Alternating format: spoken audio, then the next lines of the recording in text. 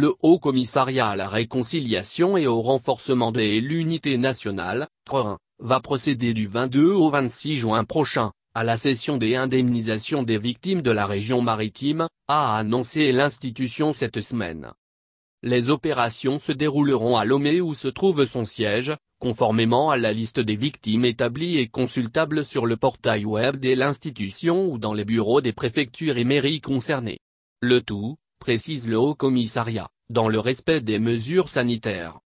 Depuis le début des réparations en 2018, plus de 7 milliards FECFA ont été octroyés aux victimes.